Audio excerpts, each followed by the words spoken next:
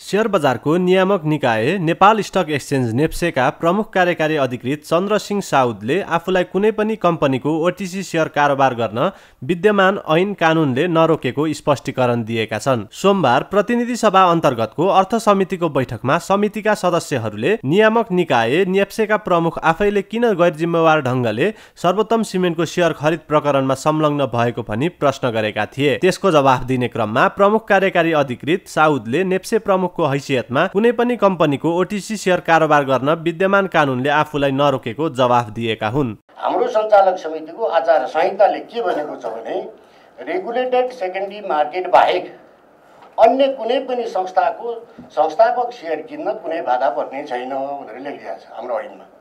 र त्यही अन्तर्गत त्यो सेयरको कारोबार भएको हो नियम मिचेर अथवा यसमा अब मोरालिटीको कुरो पनि मलाई जहाँसम्म लाग्छ म पनि त नागरिक हुने आएको होइन र मैले पनि त आफ्नो लगानी गर्न पाउनु पऱ्यो नि। र त्यसमा अनि अर्को कुरो इन्साइडर ट्रेडिङका कुरा पनि आए। अब त्यो इन्साइडर ट्रेडिङ कसरी हुन्छ? जब कि पब्लिकमा आउने भनेको त पब्लिक सेयर हो। यो त प्रमोटर सेयर हो। र यो प्रमोटर सेयर तिन वर्षसम्म लक इन पिरियड हुन्छ। खरिद बिक्री गर्न पाइँदैन पब्लिक सर त्यो कारणले गर्दाखेरि यसमा इन्साइडर ट्रेडिङको भन्ने कुनै आक्षेप पनि अब हामीले ऐन नियम कानुन हेर्दाखेरि कहीँ पनि लाग्दैन। प्रमुख कार्यकारी अधिकृत साउदले विभिन्न सञ्चार माध्यमहरूले सेयर कारोबार सम्बन्धी विद्यमान ऐन कानुनको व्यवस्था नबुझी सर्वोच्च सिमेन्टको ओटिसी सेयर नियामक निकाय आफैले खरिद बिक्री गरेको भनेर झुटा समाचार सम्प्रेषण गरेको दावी समेत गरे। बैठकमा समितिका सदस्यहरूले सेयर बजारमा गैर कानुनी अनैतिक गतिविधि बढाउने काम हुन नदिन सचेत गराउँदा गराउँदै नेप्से जस्ता नियामक निकाय आफैले नैतिक प्रश्न समेत खडा हुने गरी ओटिसी सेयर कारोबारमा संलग्न भएको भन्दै आपत्ति जनाएका थिए। सर्वोत्तम सिमेन्टको कुरा चाहिँ ओटिसी मार्केटमा कारोबार हुने भन्ने नेप्सेले प्लेटफर्म दिने लेखेर पनि दिएको रहेछ सतहत्तर कार्तिकको चौबिस कार्तिक कहिलेतिर अनि त्यो चाहिँ अब सर्वसाधारणको लागि ओपन गर्ने पनि भन्ने दसवटा बुक बिल्डिङ मार्फत दसवटा कम्पनीले खरिद गर्ने भन्ने त्यो मध्ये आठवटा कम्पनीले अलरेडी खरिद गरिसकेका कुरा प्रारम्भमा दुई सय पचास मूल्यको कुरा अब सात सय पचासमा आउँछ भन्ने बजारको हल्ला यी जम्मै कुराले चाहिँ यति सबै कुराको यो सिक श्रृङ्खलामा सिक्वेन्समा सूचना चाहिँ त्यही आधिकारिक व्यक्तिहरूलाई मात्रै थाहा हुन्छ कि चाहिँ त्यही सर्वोत्तम सिमेन्टको बोर्डलाई थाहा हुने भयो। त्योसँग सम्बन्धित नेप्से पत्र लगायतका मान्छेलाई नै थाहा हुने भयो अरूलाई हुने भएन।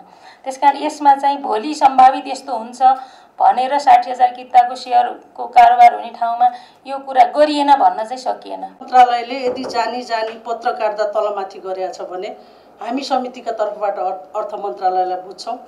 यद्यपि हिजोदेखि आजसम्म व्यक्ति कसले के गर्यो भन्दा पनि लगानीकर्ताहरूप्रति जिम्मेवार बन्नुहोस् र अबका दिनमा हामी के चाहन्छौँ भने संरचनाले अबका दिनमा यस्ता खाले कमजोरीहरू बाहिर नल्याओस्।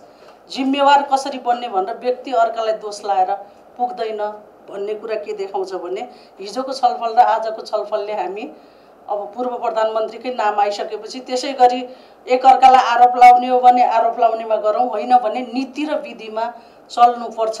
समितिको एउटा कर्तव्य नै के हो भने यस्ता खाले लगानी मार्केटहरू पुँजी मार्केटहरूका विषयमा या सिङ्गो जहाँ जहाँ आर्थिक अर्थ समितिकोले जहाँ जहाँनिर आर्थिक अनियमितताको अव्यवस्थाको विषयका कुरा उठान भएपछि स्वाभाविक रूपले समितिले बोलाउने छलफल गर्ने छानबिन गर्ने यसको अधिकार क्षेत्रभित्र रहेका कारणले पनि यसलाई सहज लिनुहोस् यहाँभित्र मलाई लाग्छ तपाईँहरू पनि बस्नुहोस् र त्यसको रिपोर्ट पनि गर्ने। अर्थ मन्त्रालयसँग हामी फेरि बसेर फेरि जोइन्ट गरेर जाँदा के छ भने सहज रूपमा अब जाँदा गर्नुपर्छ। अर्थ समितिका सभापति कृष्ण प्रसाद दाहालले नेप्से लगायतका नियामक निकायहरू आफैले सेयर बजारमा खेल खेलेको भन्दै त्यसलाई रोक्नका लागि आवश्यक कानुनी व्यवस्था गर्ने चेतावनी दिए। रेफ्री खेलमा सहभागी हुन नहुने व्यवस्था भए पनि सेयर बजारमा त्यो नियम उल्लङ्घन गर्ने काम गरिएको भन्दै आपत्ति जनाए।